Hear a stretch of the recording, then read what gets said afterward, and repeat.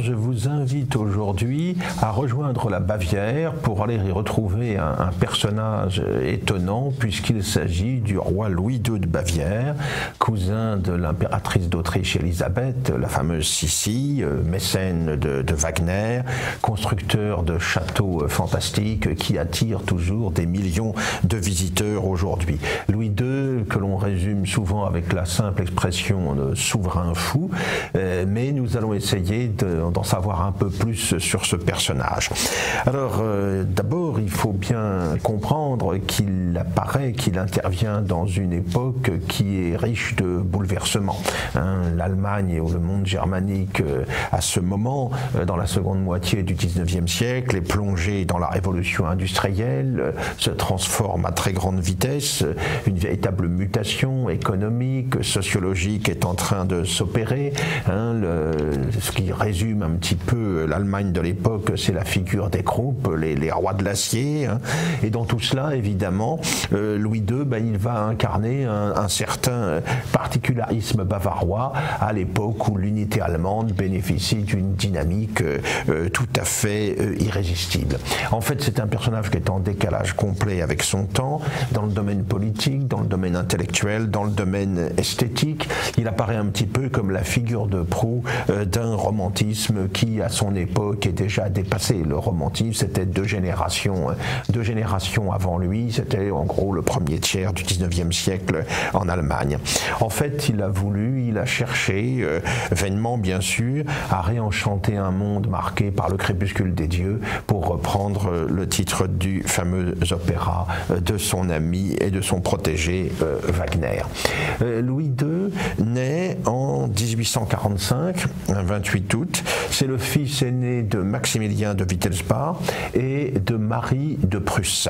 Euh, Maximilien lui-même avait succédé en 1848 à Louis Ier euh, de Bavière, personnage euh, tout à fait remarquable. C'est lui qui avait voulu faire de Munich l'Athènes de l'Isard, l'Isard étant la rivière qui coule dans la capitale bavaroise.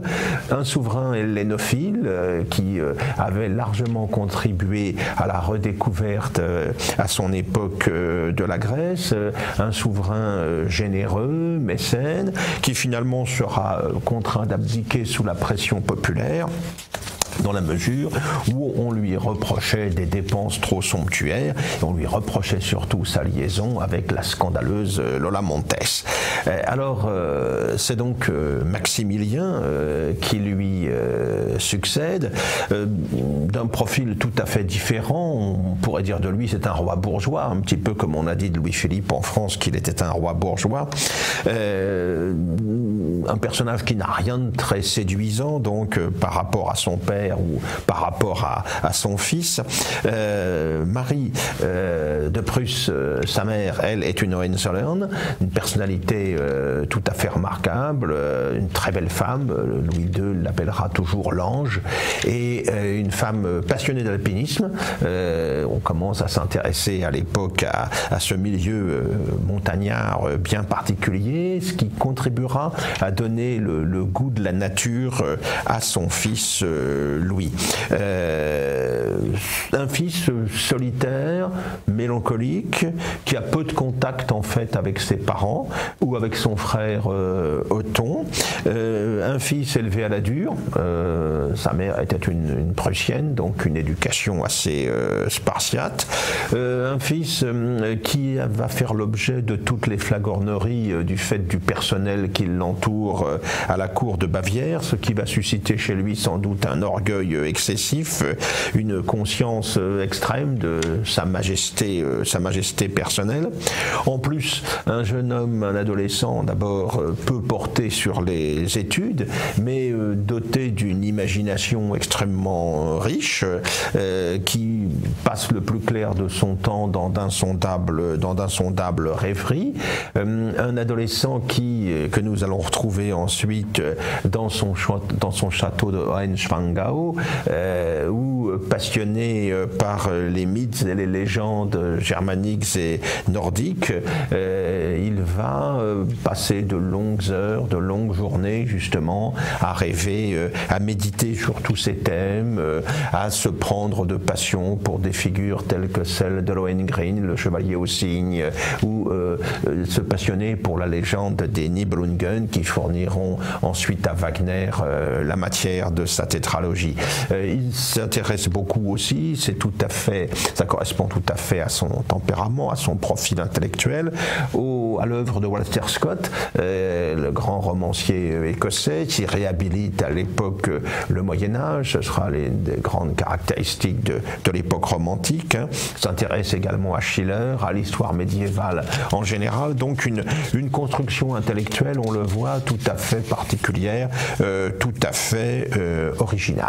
Et puis en, 1864, euh, son père Maximilien va mourir. Le jeune Louis, à l'époque, n'a que 18 ans et vit dans ses rêves. Alors il est très populaire. La, les Bavarois, a priori, lui sont très favorables. Il faut dire qu'il est très beau. il faut dire qu'il dispose, quand il a le contact avec euh, le peuple, d'un charisme personnel euh, qui, fait les, qui fait de l'effet auprès de ses compatriotes. En un mot, il suscite beaucoup d'espoir euh, dans la population bavaroise. de l'espoir parce que nous sommes à une époque qui est une époque tout à fait décisive quant à l'évolution du royaume de Bavière, quant au devenir de la Bavière. La Bavière faisait partie depuis 1815, depuis le congrès de Vienne, euh, de la Confédération germanique qui comptait donc une quarantaine, une quarantaine d'États. Et euh, dans cette construction, euh, eh bien, elle apparaissait un petit peu comme le premier des États de second ordre. Il y avait les deux acteurs les plus importants, c'était bien sûr la monarchie habsbourgeoise de Vienne et puis la monarchie Hohenzollern euh, prussienne euh, de Berlin. Eh bien, la Bavière, euh, par son étendue, par le rôle historique qui avait été le sien, par son identité tout à fait particulière dans l'ensemble germanique, apparaissait ainsi comme un, ensemble politique d'un certain poids dans tout cet ensemble. la Bavière avait été affectée, comme tout le monde germanique, par les événements de 1848-1849, on s'en souvient, la révolution de 48 avait touché euh, l'ensemble de l'Allemagne, avec euh, tout d'abord un élan euh, démocratique qui s'était incarné dans le Parlement de Francfort, mais tout cela avait abouti à, l'échec. Les, princes avaient repris les choses en main après avoir fait des, concessions libérales, aussi bien à Vienne qu'à Berlin ou ailleurs. Et ensuite, la compétition entre Autriche et Prusse pour savoir qui allait prendre en main, en quelque sorte, la construction attendue de l'unité allemande avait abouti en, 1849 à l'échec de la Prusse, la fameuse reculade d'Olmutz, hein, où le roi de Prusse Frédéric Guillaume IV avait dû euh, céder aux exigences du, de l'Autrichien euh, Schwarzenberg. Alors ensuite, euh, la Bavière allait se trouver confrontée à une situation nouvelle au cours des années 1860. Hein. En 1862, Bismarck est devenu chancelier euh, de Prusse. Il est décidé, il l'a dit, euh, à faire l'unité de l'Allemagne par le fer et par le sang, et non plus par des processus euh, démocratiques tels que ceux mis en œuvre en 1848. Et dans ce, contexte nouveau, la Bavière va se retrouver en quelque sorte un petit peu coincée entre l'Autriche, entre l'Autriche et la Prusse. Hein. En 1864, c'est la guerre des duchés que la Confédération germanique euh, livre au roi de Danemark pour le contrôle des duchés d'Holstein, euh, de Schleswig et de Lauenburg. La Bavière, là, est en retrait, elle n'est pas au premier rang dans le jeu des, puissances, mais euh, très vite, les choses vont se gâter, puisqu'en 1866, c'est la guerre entre la Prusse et l'Autriche pour savoir qui va réaliser l'unité allemande à son profit. Alors, dans ce conflit, la Bavière va pencher naturellement temps, du fait des liens historiques entre les deux dynasties, du fait de la communauté religieuse qui les unit. Il s'agit de l'Allemagne catholique, de l'Allemagne du Sud catholique, va pencher du côté de Vienne. la Prusse d'ailleurs va se retrouver relativement isolée au sein de la Confédération germanique, mais c'est la Prusse, on le sait, qui sort victorieuse de cette confrontation. C'est Sadova, euh, à l'été de 1866, euh, qui assure euh, la victoire des Hohenzollern dans la lutte pour l'unité allemande à venir. Louis II, dans cette affaire, était en fait proche de l'Autriche, mais ne s'est pas engagé de manière trop évidente à ses côtés, parce qu'il a la conviction que la dynamique, il, est très anti-prussien quand même au fond, hein, cette Allemagne du Nord, cette, Allemagne de Berlin, cette Allemagne aussi maintenant de la Ruhr, cette Allemagne industrielle qui se développe à grands pas, euh, il ne se reconnaît pas du tout euh, en elle, mais en même temps il est convaincu que la dynamique de l'unité allemande est irrésistible et que c'est la Prusse, ce sont les Hohenzollern qui vont finir par euh, gagner dans la bataille engagée avec Vienne. Son problème, son souci, c'est de maintenir dans la mesure du possible un maximum d'autonomie, de particularisme pour sa chère, euh, pour sa Bavière. Alors, en 1870, il se retrouve également dans une situation un peu comparable. Euh, Bismarck a conclu avec les États d'Allemagne du Sud euh, qui n'avaient pas rejoint dès 1867 la Confédération d'Allemagne du Nord dominée par la Prusse. Bismarck a conclu, a conclu des accords militaires et et, politique euh, qui euh, prévoyait l'entrée en guerre de ces États d'Allemagne du Sud auprès de la Prusse euh, en cas d'agression contre la Prusse. On sait ce qu'il en fut, c'est la France de Napoléon III, de manière tout à fait inconsidérée d'ailleurs, qui se lance dans la guerre en juillet 1870 et du coup les États d'Allemagne du Sud, dont la Bavière, vont se retrouver dans le camp prussien et participer à la guerre contre la France l'ennemi héréditaire selon, euh, selon Bismarck. Hein. Euh, cette guerre est victorieuse pour les Allemands, on le sait, et à cette occasion, eh bien, c'est euh, Louis II lui-même qui est invité à proposer la couronne impériale à son oncle Guillaume Ier de Prusse, qui va devenir l'empereur donc du nouvel empire germanique, du nouvel empire allemand, qui est proclamé à Versailles en janvier 1860. Alors c'est un ralliement euh, qu'il va négocier. La Bavière va pouvoir conserver un certain nombre d'autonomies sur le plan administratif, euh, euh, politique, fiscal, militaire même. Mais cette situation ne convient pas véritablement au jeune roi. Il, n'avait pas tellement d'autres solutions dans la mesure où il se voit maintenant comme un vassal de Berlin, comme un vassal de la Prusse. Et à partir de là, il va s'éloigner de plus en plus clairement euh, des qu'implique le euh, gouvernement, qu'implique le pouvoir. De plus, il méprise les parlementaires euh, bavarois, il méprise profondément tout le personnel politique et, administratif du royaume, ce qui va lui, lui valoir évidemment de très nombreuses hostilités, de très nombreuses oppositions ou rancunes dans ce milieu-là. Il avoue qu'il s'ennuie dans ce qu'il appelle les fadaises de l'État, euh, les mondanités, lui, sont insupportables. Euh, quand il y a des réceptions auxquelles il ne peut pas échapper, il s'arrange pour être isolé de la plupart des convives par des massifs de fleurs euh, qui lui, lui, permettent d'échapper d'une certaine manière à ces contraintes. En fait, seule la solitude lui convient. Il prend un, plaisir dans des représentations, dans des représentations théâtrales dont il est le seul spectateur, il, en a assez euh, d'apparaître euh, dans la loge royale de l'Opéra de Munich, euh, même si c'est pour recevoir les, ovations du public. Hein. Il a très peu d'intime, vit dans un monde largement imaginaire. L'un de ses serviteurs avec qui il s'était lié d'amitié, il le surnomme Didier parce que c'est le nom d'un personnage euh, de Marion Delorme, la pièce de Victor Hugo, il l'appellera toujours avec euh, ce nom euh, complètement inventé, en quelque sorte. Hein. Il rompre ses fiançailles, d'où son surnom de roi vierge. Alors on, le, on soupçonnera chez lui des penchants à l'homosexualité, on ne sait pas exactement dans le détail, dans le détail ce qu'il en fut. en tout cas, il est très seul. L'une de ses seules confidentes, c'est sa cousine, l'impératrice Sissi, l'impératrice Elisabeth d'Autriche, qui était elle aussi une Wittelsbach. En fait, il est dégoûté par la réalité, toujours euh, trop décevante. Il se réfugie dans des rêves de Graal, euh, de Valkyrie. Il se passionne pour les décors de, théâtre.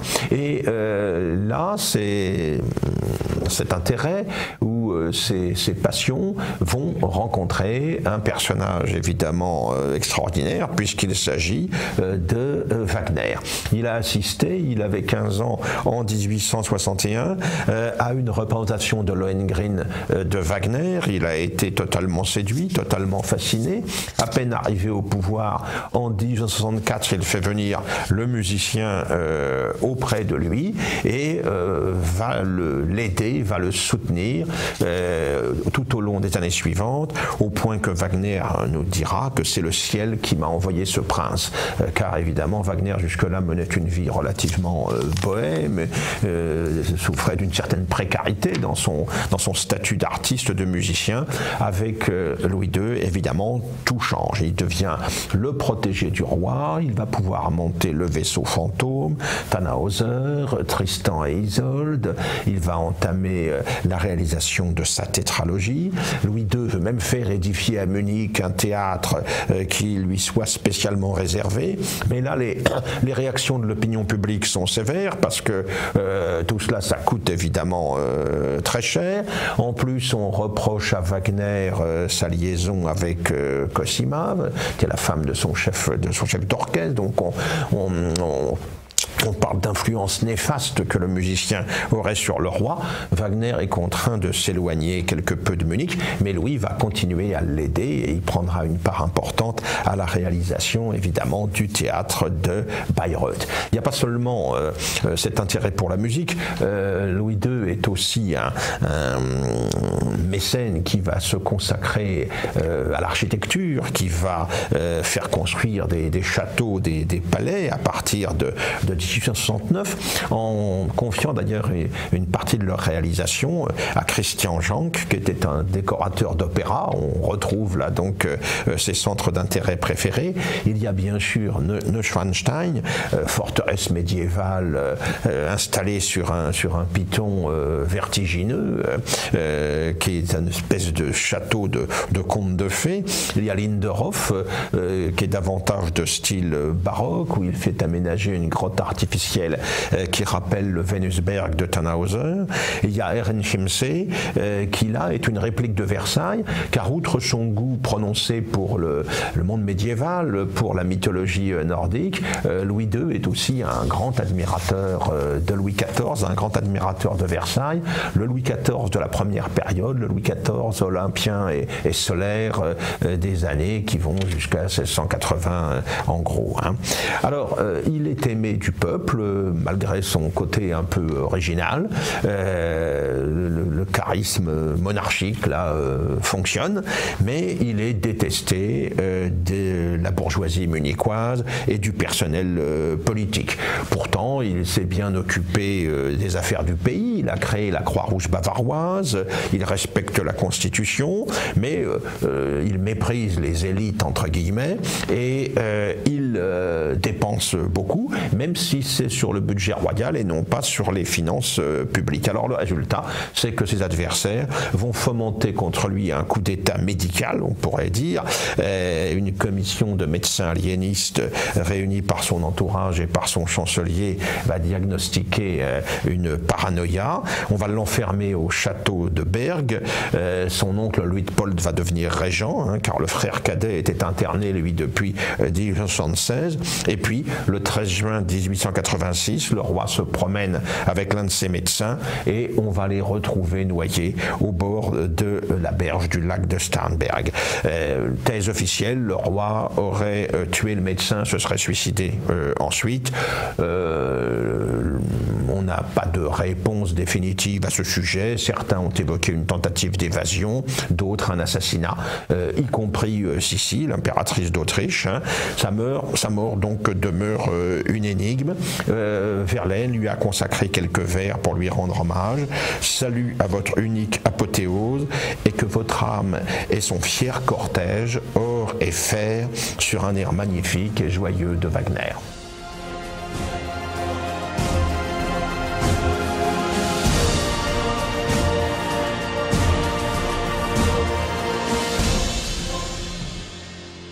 dont je vais vous parler euh, ce matin est probablement l'homme dont l'invention a le plus marqué l'humanité toutes les civilisations, tous les pays, tous les âges ont utilisé l'imprimerie, car il s'agit bien sûr de Gutenberg.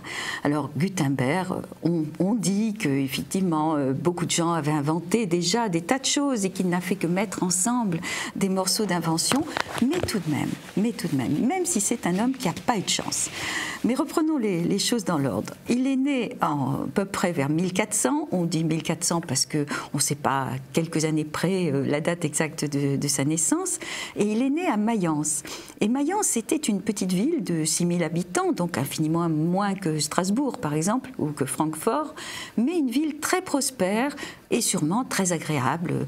40 églises, de très belles fontaines publiques, de belles maisons, une ville prospère, paisible, euh, qui était dirigée par un archevêque. Hein. C'était une ville un petit peu indépendante, qui battait monnaie. Et il y avait deux clans, les patriciens autour de l'archevêque et les artisans ou les boutiquiers euh, réunis en guildes, comme ça se faisait beaucoup dans ce qui n'était pas encore l'Allemagne.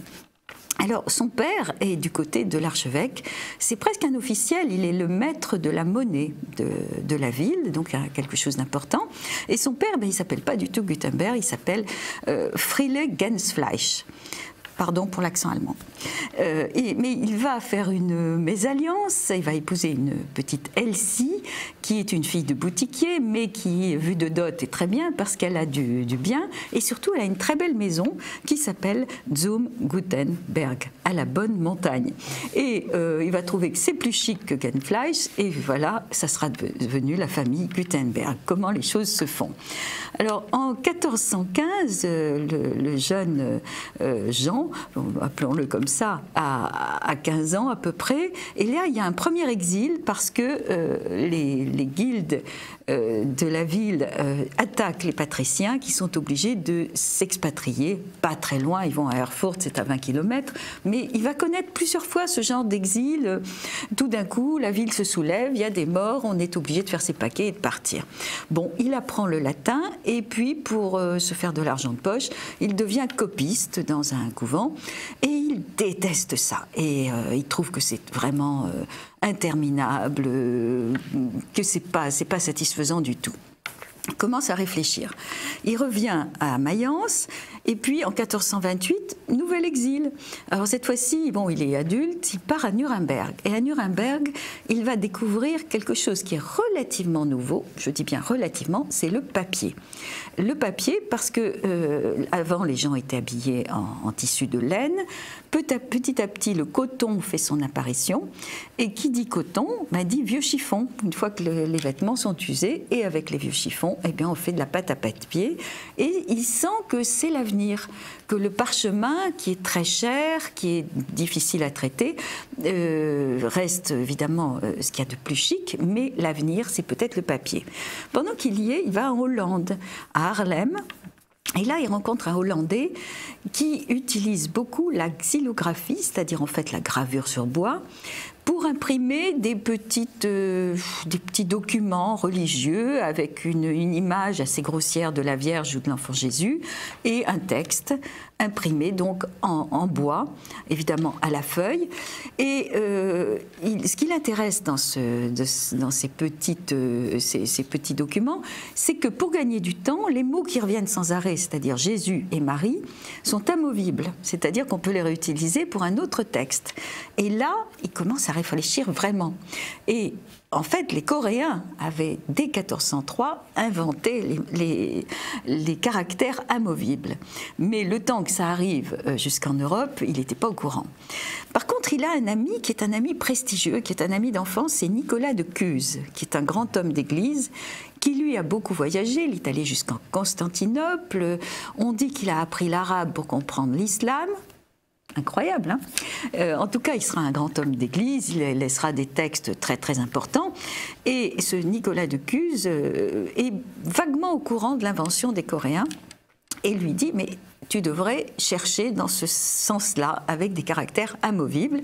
Et puis, ce qui serait formidable, c'est qu'on arrive à imprimer pour pas très cher des micelles pour que tous les curés aient un micelle, quelque chose qui soit pas trop précieux, mais qui soit utilitaire l'idée est, tombée dans l'esprit de Gutenberg qui se dit mais voilà, c'est, voilà ce que je vais faire. Alors il s'installe à Strasbourg, là on est en 1434, il est orfèvre, il a, pensé que son idée de l'imprimerie dépendait plus de l'orfèvrerie que du bois, que de l'ébéniste. Et euh, il commence ses, essais de taille de, lettres, de coulage après des caractères. Et puis, pour vivre, il a une idée de génie, euh, vraiment une idée de génie, c'est de faire des petits miroirs de 2 cm de, diamètre, euh, que les pèlerins qui allaient à Aix-la-Chapelle, régulièrement, il y avait des expositions de reliques. Et les reliques, c'était toujours euh, le voile de la Vierge, le linge de l'enfant Jésus, le, linge qui saignait les reins du Christ sur la croix. Et ils étaient montrés pendant quelques minutes. Et les, parfois jusqu'à 100 000 personnes, on était obligé de fermer les portes d'Aix-en-Provence, d'Aix-la-Chapelle, pardon, euh, tellement la foule pouvait s'écraser pour voir ces reliques. Et les gens qui voyaient rien, qui étaient trop loin, eh bien, ils avaient ces petits miroirs qui tenaient comme ça, et ils se disaient que la relique se reflétant dans le miroir, le miroir gardait un peu de sainteté, un peu de, quelque chose. Donc, ils gardaient précieusement ce miroir, et en rentrant chez eux, ils l'accrochaient euh, dans leur maison. Donc, il fait fortune avec ces miroirs, pas assez, il est obligé d'emprunter de l'argent quand il se lance enfin dans la grande aventure de l'imprimerie. Alors, il a, il de l'argent à un certain Johann Fust, qui n'y connaît rien mais qui a de l'argent. 800 florins. Et euh, voilà, c'est parti pour l'impression de la Bible à 42 lignes. Alors, qu'est-ce qu'il a vraiment inventé? Bon, les caractères amovibles, il les a réinventés, disons plus ou moins. Il a inventé l'encre. Avant, l'encre des copistes était à base d'eau et donc euh, n'était pas euh, adaptée à, une impression mécanique. Euh, il va partir de l'huile, l'huile de noix. Il va mettre de l'essence de térébenthine, du noir de fumée et du blanc d'œuf. Et son encre va être sensationnelle. Elle ne va pas bouger jusqu'à nos jours. Et puis surtout, il va inventer la presse. Enfin, là, il va être le premier parce que même les Coréens, ils n'avaient pas ça. Une presse comme les presses dans les métiers du vin avec une vis sans fin. Et surtout, il va inventer le recto verso. Il a aussi euh, inventé le calage des, phrases, enfin des lignes plus exactement. Donc les lignes ne bougent pas, elles sont composées dans ce qui s'appelle le visorium, euh, lettre par lettre avec des pinces, bien attachées pour qu'elles ne bougent pas. Il y a des marges, la lecture est aisée et ça sera la fameuse Bible à 42 lignes, 641 feuillets, 66 cahiers. C'est la Vulgate de Saint Jérôme c'est parfait, c'est magnifique, mais il met pas son nom dessus. Et puis surtout, il n'a plus d'argent. Il réemprunte à Johann Fust, qui cette fois-ci se fait tirer l'oreille, et dit Mais je veux être associé. Et surtout, je veux que vous preniez mon protégé, qui va épouser ma fille, qui est un brillant latiniste, calligraphe, c'est Pierre Schoeffer. Et là, c'est le loup dans la bergerie, parce que Johann Fust, il a de l'argent, mais il n'y connaît rien. Par contre, Pierre Schoeffer, lui, il va mettre la main sur les inventions de Gutenberg, et il va lui faire procès sur procès. Ah, il va réussir à récupérer tout son matériel, sa presse, euh, tous les caractères. C'est fini pour Gutenberg qui euh, essaiera bien encore de, créer des petites imprimeries. Paris pour des textes beaucoup plus légers, par exemple les, indulgences. C'était formidable, les indulgences, il en fallait des centaines et il suffisait d'écrire à la main le nom de la personne concernée. mais c'est quand même Pierre Schoeffer qui va faire le plus beau livre de tous les temps, c'est le Psautier de Mayence en 1457.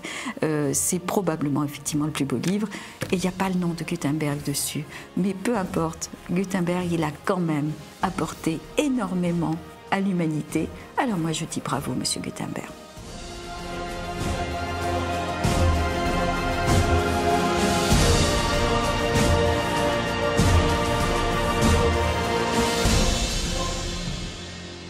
Nous avons le plaisir de recevoir aujourd'hui euh, Bernard Zeller, euh, qui vient de réaliser avec Jean-Paul Angelelli une biographie du général Salan. Euh, dans la collection Qui suis-je aux éditions Pardès, excellente collection qui comprend maintenant de nombreux titres et qui nous permet un, survol très complet de l'histoire du XXe siècle. Alors nous allons donc parler du, du général Raoul Salan, oublié, il faut bien le dire aujourd'hui, pour les jeunes euh, générations, mais euh, qui fut un personnage euh, d'importance dans les années qui ont suivi la Seconde Guerre mondiale, du fait de son rôle en Indochine. Il a été commandant en chef, et puis ensuite en Algérie, où il a également commandé en, chef, notamment à l'époque où intervient l'affaire du 13 mai 1958. Et puis ensuite, il va se retrouver, on le sait, une fin de carrière un petit peu inattendue, comme le chef de l'organisation de l'armée secrète qui va continuer la lutte pour euh, l'Algérie française, euh, ce qui lui vaudra ensuite d'être euh, condamné à la, détention jusqu'à ce qu'intervienne l'amnistie de 1968. Alors, Raoul Salan, c'est un personnage que l'on connaît à travers cette séquence bien particulière de notre histoire, hein, marquée par les guerres coloniales d'Indochine et d'Algérie, mais il a avant tout un parcours, toute une carrière militaire euh, euh, tout à fait brillante. Euh, pourriez-vous, Bernard Zeller, nous en rappeler les, principales étapes? Oui, en effet, c'est important et, lui-même attachait beaucoup d'importance aux premières étapes de, de, sa carrière militaire. Il est né le 10 juin 1899 à Roquecourbe, dans le Tarn. Il est en j'allais dire en terminale, en, en euh, au lycée de Nîmes en 1916, et il est, présente le concours de Saint-Cyr, il est reçu à Saint-Cyr, il fait une petite année rapide, et il se retrouve aspirant en 1918 à la tête d'une section d'infanterie coloniale. Et il obtient sa première citation euh, quelques, quelques semaines avant le, la fin du conflit.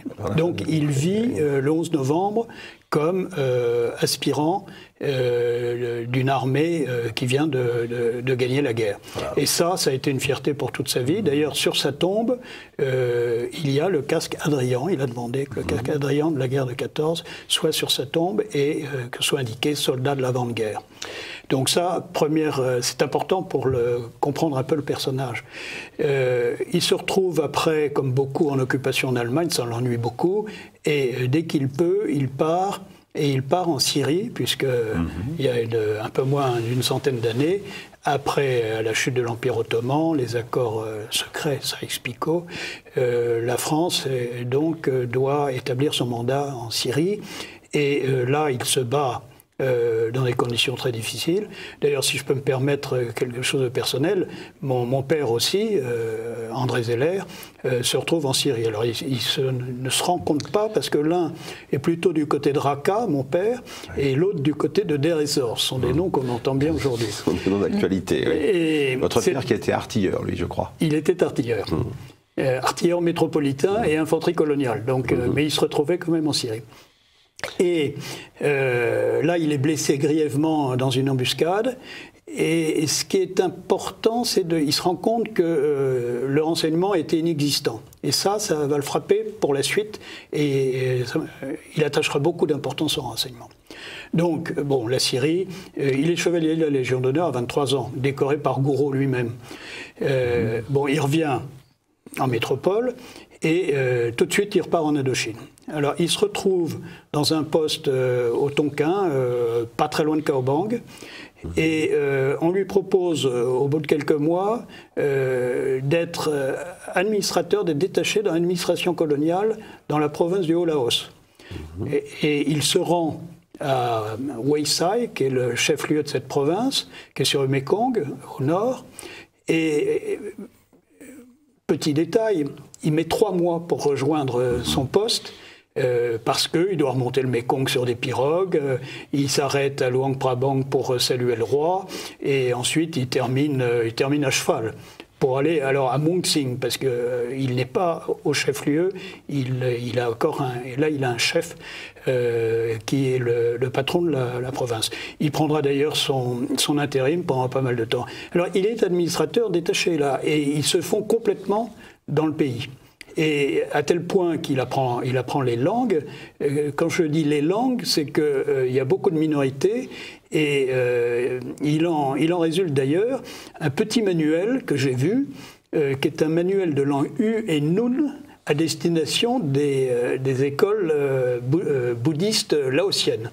Et donc c'est en fait un, un, dictionnaire de Lu et Yun en laotien.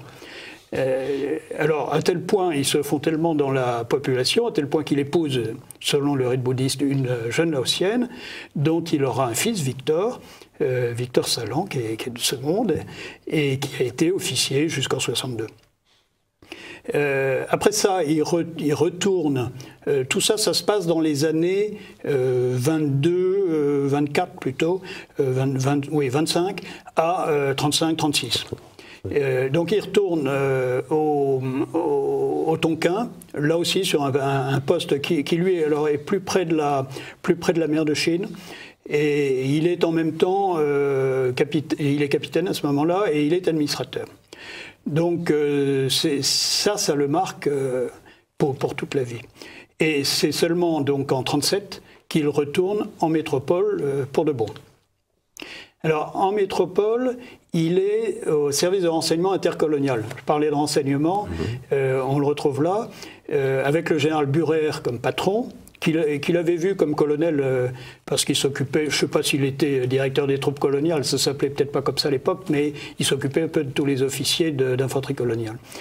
Et il a comme ministre, très rapidement, il a Mandel, Georges Mandel. Mhm. Et il voit Georges Mandel euh, tous les jours à midi pour faire un rapport sur tout ce qui se passe dans les colonies, tous les renseignements qui arrivent, euh, en particulier pour l'Indochine, euh, la présence de touristes entre guillemets japonais, mhm. on saura pourquoi plus tard.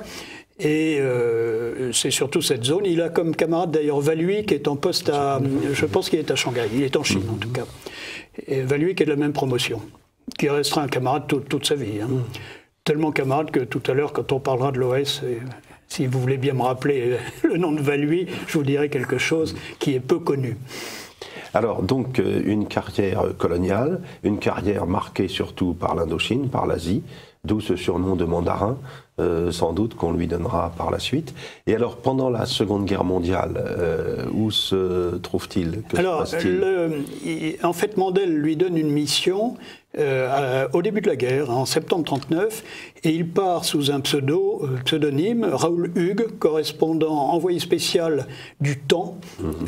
au Caire, et il a une mission d'aide à la résistance éthiopienne aux Italiens. Mhm. L'idée de Mandel, c'était de fixer les troupes italiennes au maximum là-bas, au cas où il y aurait une guerre. Lui, Mandel voyait venir la guerre. Hein. Donc, ça a été... Alors, il revient début 40. Et là, il est à la tête d'un bataillon d'infanterie coloniale et il se bat sur la Somme. Mhm. Euh, il, se replie euh, en bon ordre. Pour l'époque, c'était mhm. assez difficile. Il s'est bien battu. Mhm. Et il se retrouve euh, dans le sud de la France au moment de, l'armistice.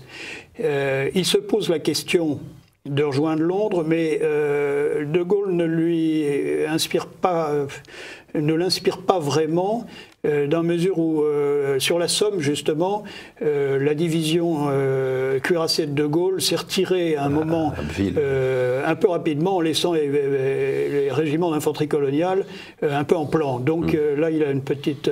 Et puis arrive en juillet l'affaire de Mercel Kébir. Mm-hmm. Et alors là, ça coupe tous les, toute velléité mm-hmm. d'aller de suivre d'aller à Londres et de suivre le général de Gaulle. D'ailleurs, beaucoup d'officiers ont été dans cet état d'esprit Hein. Donc, euh, alors, il, retourne au ministère des colonies à Vichy. Il retrouve Burer, pas pour très longtemps. Et puis, le ministre des colonies, euh, c'est devient l'amiral, c'est l'amiral Platon qui prend ce poste. Ça se passe pas très bien avec Platon et euh, le Salan est envoyé comme patron du deuxième bureau en Afrique occidentale française avec le général Barrault et le gouverneur général Boisson. Mhm.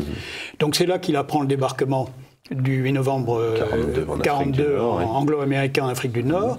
Il pousse beaucoup euh, pour euh, se rallier rapidement et il demande à Valui, qui est à Alger, de lui trouver un poste à Alger. Alors, il a un poste qui, est, qui, est, assez étonnant, quoi. inattendu. il est le directeur de Combattant 43, qui est la revue des, des, armées françaises de l'époque. Mhm qui devient combattant 44, 44 mais il y reste pas très longtemps parce qu'il a, il a quelques accrochages avec André Le Troquer, qui était commissaire à la guerre, mhm.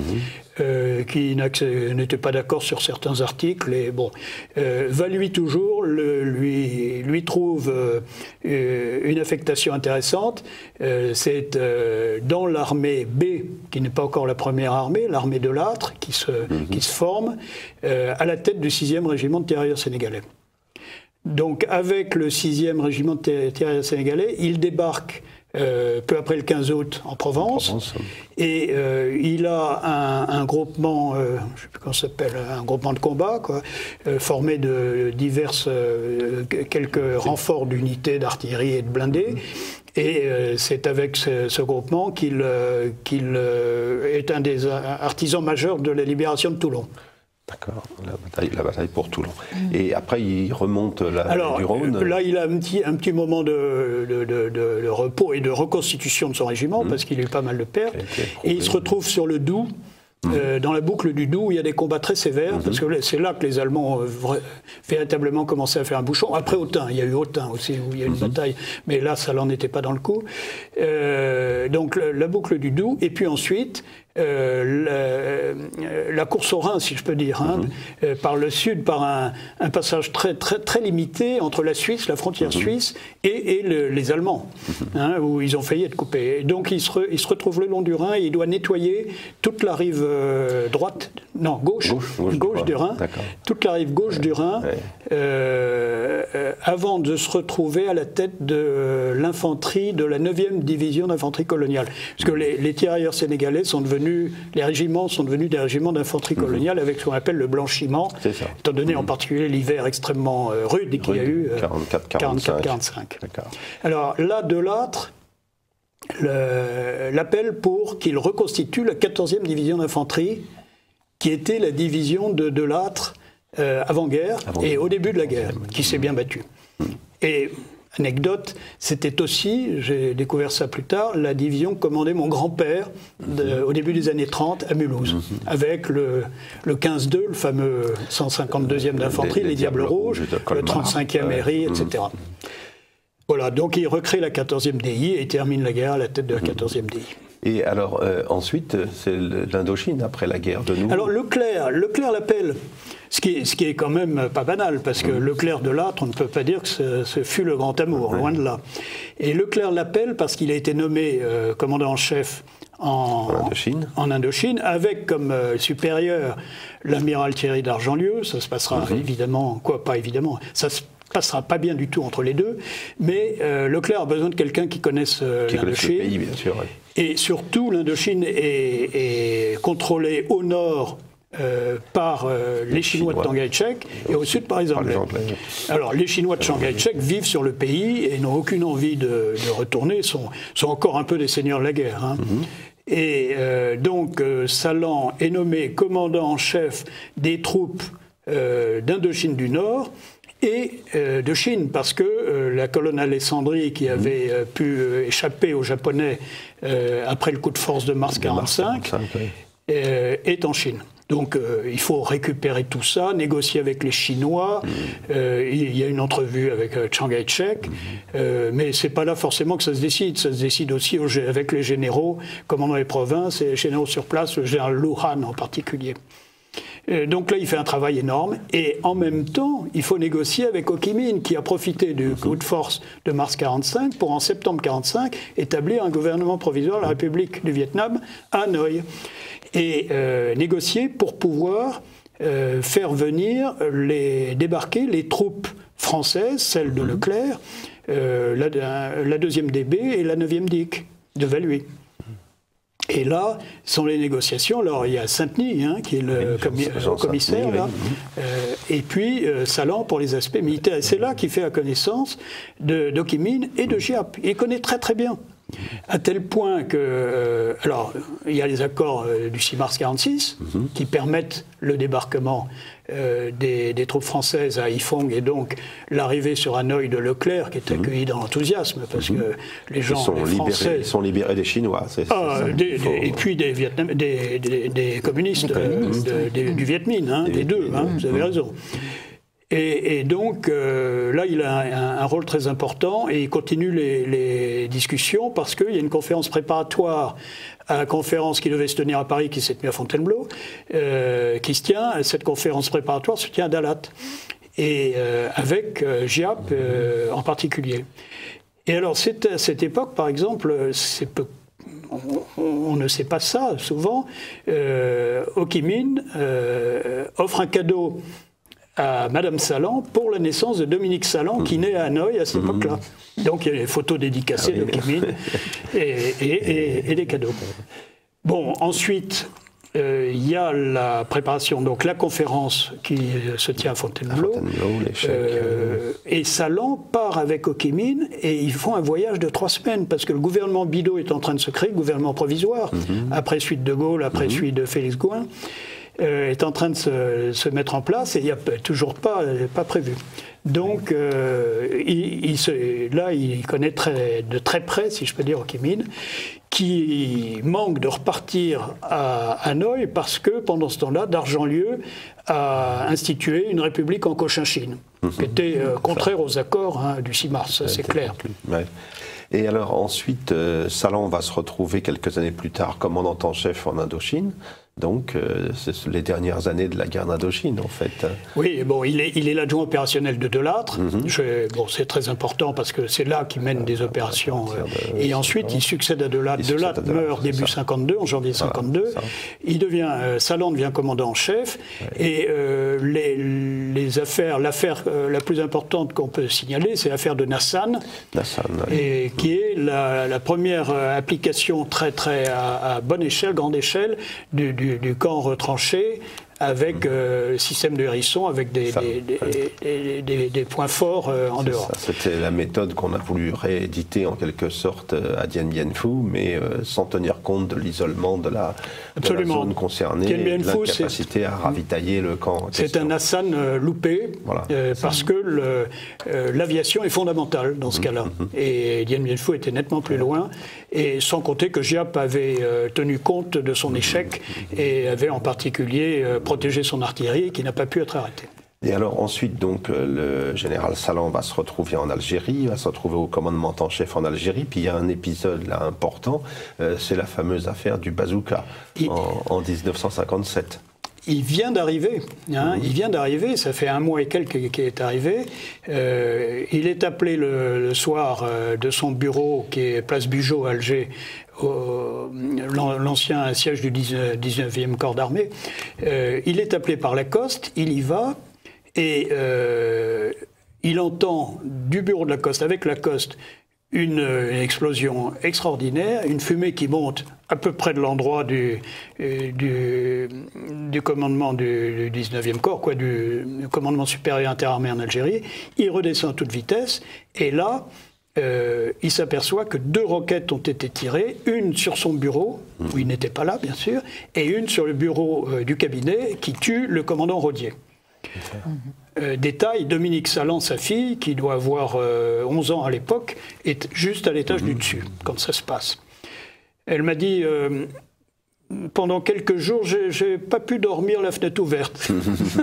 Il n'y avait pas de soutien psychologique externe à l'époque. Et ce que l'on admet généralement, c'est que ce, cette roquette, elle est tirée euh, par des gens qui voyaient en salant euh, un homme susceptible de euh, contribuer à l'abandon de l'Algérie. Oui, il avait une.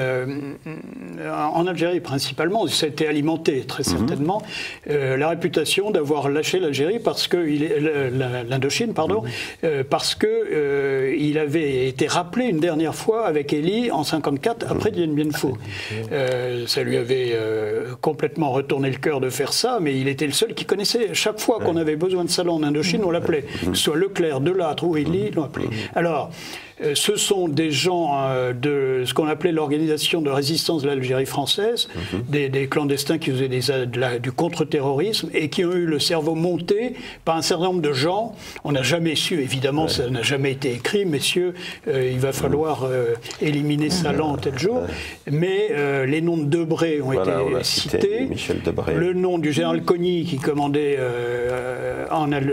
au Maroc et qui avait été candidat pour prendre le, le commandement en Algérie, et mmh. des noms de ce genre-là ont été mmh. cités. Et euh, quand Salan sera le patron de l'OS, il écrira une lettre à Michel Debré en le désignant comme l'assassin du commandant Rodier. Mais il n'avait pas de certitude absolue. Et on n'en aura jamais. Euh, alors, il, va ensuite jouer un rôle important aussi. en mai 58, avec les événements du 13 mai, euh, Salan et Massu, le 15 mai, ce sont eux qui, qui lancent le Vive de Gaulle. Euh, fondamental, un rôle fondamental. Salan, euh, Salan, a joué, il, a eu les, des pouvoirs dont le contour n'était pas extrêmement précis, mais maintenir l'ordre civil et militaire en Algérie du gouvernement Gaillard qui, mmh. qui, était renversé et confirmé par Flimelin. Mais il le dit, hein, les affiches qui, qui fait afficher pour que le calme revienne, après le 13 mai, euh, sont, euh, il, mentionne Et il joue un jeu euh, intéressant entre ben, le gouvernement officiel de Flimelin et puis ce qui se passe en Algérie. il faut qu'il arrive à maintenir ça pour pas que ça, explose. Les comités de salut public, arriver à ce que tout ça se passe dans. Et en effet, le 15 mai, euh, il termine son, discours, mais alors on a dit que Delbecq l'avait euh, quasiment menacé pour qu'il écrit ça. Il, était déjà dans cet esprit-là. Mmh, mmh. Euh, il, termine son discours par Vive l'Algérie française, vive le général de Gaulle. Alors évidemment, ça ne met pas en joie Flimelin. Et à partir de ce moment-là, ça se tend entre mmh. Alger et Paris. Et il y a l'affaire de Corse, qui montre que finalement, un, pion supplémentaire est tombé. Et euh, De Gaulle joue très très, quoi, et son, son équipe euh, joue très finement autour de ça, en disant, euh, en faisant comprendre à l'Assemblée nationale que si elle ne vote pas l'investiture du général de Gaulle comme président du Conseil, il y a le risque que les parachutistes, l'opération Résurrection, dont on, on, ne sait pas non plus si c'était beaucoup d'intoxication. Mhm.